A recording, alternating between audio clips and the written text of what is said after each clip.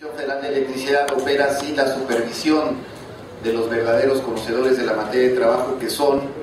los miembros del Sindicato Mexicano de Electricistas. Y por último, para explicar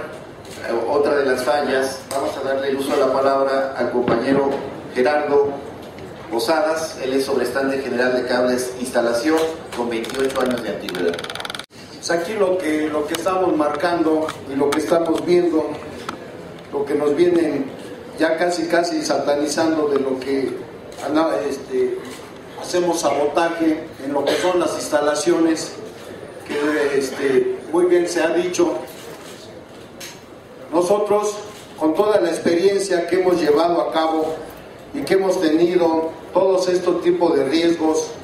es muy difícil, es muy difícil hacer los cortes que ellos dicen o sabotear, sabotear todo el sistema de la, de la red, de la red automática que nos,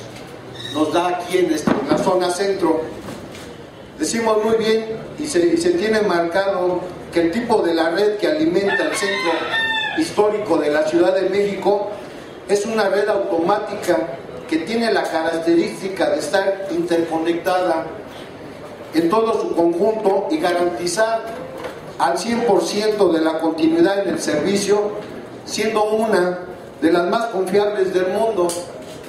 Sin embargo, existen condiciones que alteran dicho sistema, las cuales son producidas por las anomalías del personal incapacitado para realizar estas labores, ya que desconocen el sistema subterráneo. Asimismo, hemos ido viendo lo que ustedes llaman, eh, lo que son las mufas,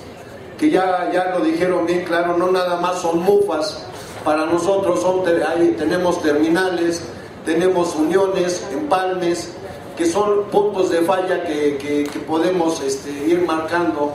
y que vayan este, conociendo qué es una mufa y qué es una terminal, en qué se diferencia. Las mufas que, ustedes marcan pues son las que tenemos este, exteriores en los servicios de los edificios, si ustedes las han visto. Y las terminales son las que tenemos en los equipos, llamemos lo que son los rack, que son interiores. Las uniones, las uniones que, que tenemos en mediana tensión, que a veces con el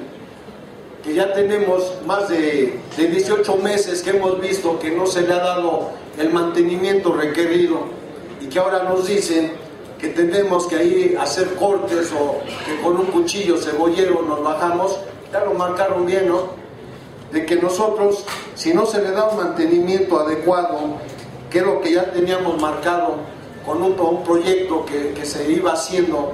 cada seis meses para hacer un, un proyecto de mantenimiento y recorrer para ir reparando lo que eran las anomalías que íbamos viendo en los pozos y que esto es lo que nos ha ocasionado ahorita como lo que vemos en ciertas maneras los, los disturbios que vamos teniendo. Esto es lo que ustedes ven, es lo que es una unión o un empalme en 23, ¿sí? que son de las redes que trabajamos aquí en la zona centro. Ahora también lo que nos dicen claro, ¿sí? Este, este nada más es, es una foto que tomamos en un accidente que hubo, en el cual, si ustedes ven aquí trabajando con un rotomartillo que tenían al llegar al cable, pues qué es lo que pasó, ¿no? Se flameó y el compañero, bueno, el señor que estaba haciendo este tipo de trabajo, pues tuvo lamentablemente el accidente. Ahora con esto, ¿qué es lo que nos dicen? Que nosotros con un cuchillo o una cegueta bajarnos a cortar lo que es este, los cables que conocemos, pues de verdad que la gente que, que no sabe realmente el riesgo que se corre, pues está ahí, ¿no? De que fallece uno, entonces únicamente lo que siempre hemos marcado de los que conocemos y que son son 28 años, compañeros, de que hemos estado de experiencia día con día, como decíamos en el nada más, viendo todo lo que era el equipo, todo lo que ya se ha marcado, que era equipo obsoleto, viejo, y que nosotros repentinamente lo, lo, veníamos comunicando que necesitábamos hacer nuevas instalaciones, nuevo cableado, nuevo equipo, pues ahorita con esto ya ve que lo que marcaban de que lo que pedíamos de la nueva, del nuevo presupuesto, pues parece que nos lo cambiaron, ¿no?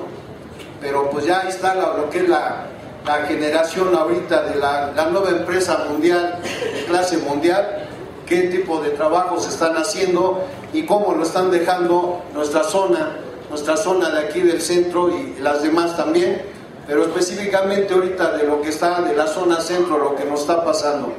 Esto lo, lo, lo venimos repitiendo, esto es una bomba de tiempo,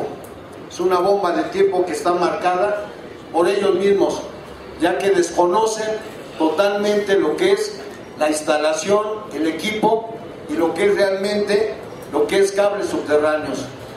Esto es lo que yo quería decir nada más y por su atención muchas gracias.